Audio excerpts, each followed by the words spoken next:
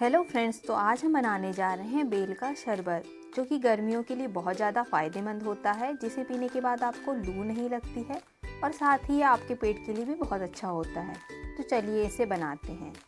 तो सबसे पहले यहाँ मैंने बेल ले लिए हैं, यहाँ मैंने तीन बेल ले लिए हैं। अब इसे किसी भी बेलन की हेल्प से हमें तोड़ लेना है। यहाँ मैं बेलन की हेल्प से इसे तोड़ लूँगी। देखिए, अब यह टूट चुका है। तो हम बेल को साइड में रखेंगे और एक पतीला ले लेंगे और एक चम्मच की हेल्प से इसका पल्प हम निकाल लेंगे।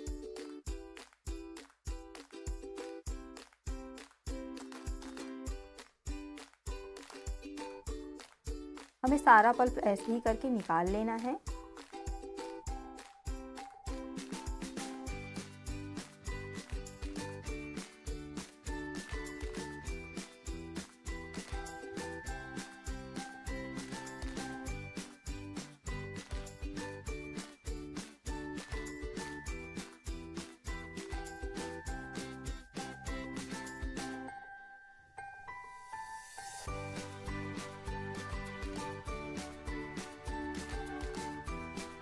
ऐसे करके हमें सारे बेलनों को तोड़ लेना है और उनका पल्प निकाल लेना है।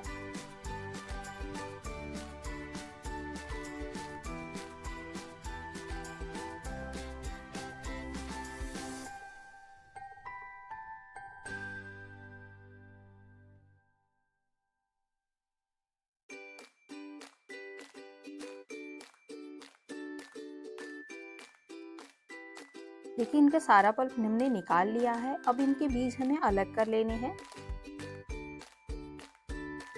एक एक करके हम इनके सारे बीज निकाल लेंगे।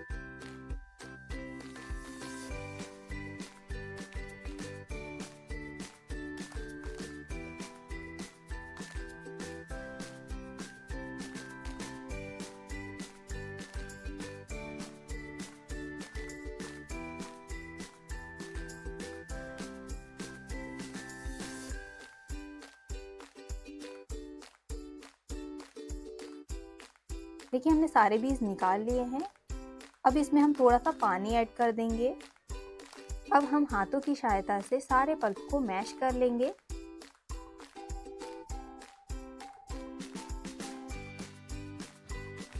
हमें पल्प को अच्छे से मैश कर लेना है।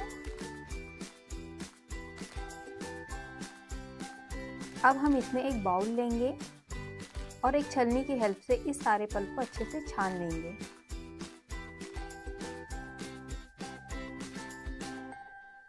अब चम्मच की हेल्प से हम अच्छे से छान लेंगे।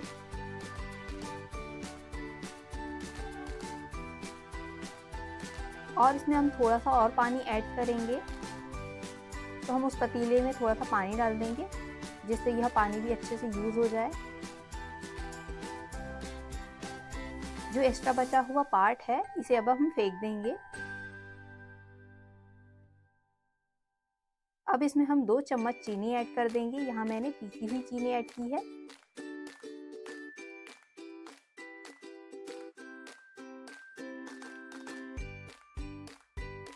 अब हम इसमें थोड़े से मिंट के पत्तों को क्रश करके डाल देंगे।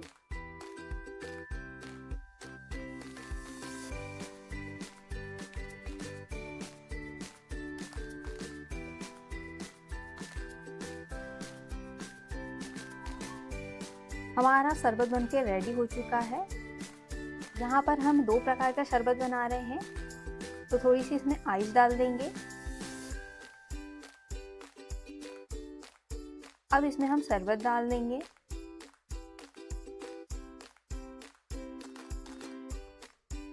एक गिलास में हम नॉर्मल वाला बना रहे हैं और एक गिलास में हम मसाला वाला बना रहे हैं।